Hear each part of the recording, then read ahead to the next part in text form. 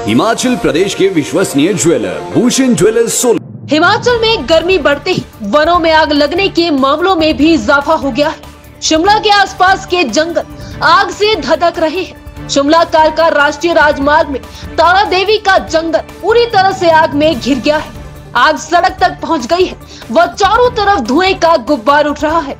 धुएँ की वजह से वाहन चालकों को भी गाड़ियाँ चलाने में मुश्किलों का सामना करना पड़ रहा है। वन विभाग के साथ। अग्निशमन विभाग की गाड़ियाँ आग बुझाने में जुटी है, लेकिन आग काफ़ी फैल चुकी है, जिसकी वजह से आग बुझाने के लिए कड़ी मुशक्कत करनी पड़ रही है। रूप धारण कर लेती है और जो कि मतलब जो लोग भी यहाँ से ट्रैवलर हैं, जो भी जा रहे हैं, उनको तो ट्रैवल करना मुश्किल हो गया तो इतना धुआँ है यहाँ पर।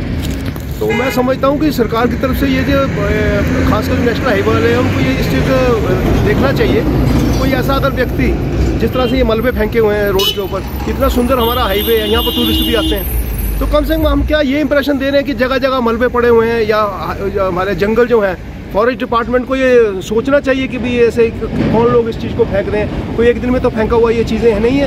अगर ये मलबा बात करें, आप यहाँ देखिए, यहाँ मलबों के ढेर लगे आप थोड़ा पीछे जाइए, जिस मोड़ पे देखेंगे, आपको मलबों के ढेर मिलेंगे। और माननीय उच्च न्यायालय ने बोला कि कोई भी ऐसी जो इंक्रोचमेंट्स और ये हाईवे पर नहीं होनी चाहिए। तो मैं समझता हूँ इसके ऊपर इमीडिएटली जो है कंसर्न डिपार्टमेंट्स को जो है एक्शन लेना चाहिए। क्योंकि ये ओवरनाइट का हुआ काम नहीं है। अगर एक बार हुआ तो उनको एफआईआर लॉन्च करनी चाहिए अज्ञात व्यक्ति के अगेंस्ट। ताकि वो पुलिस की तहकीकात कर सके कि भी कौन इसको फेंक उज्जवल हिमाचल के लिए ब्यूरो शिमला। भूषण ज्वेलर्स अनमोल रिश्तों के लिए।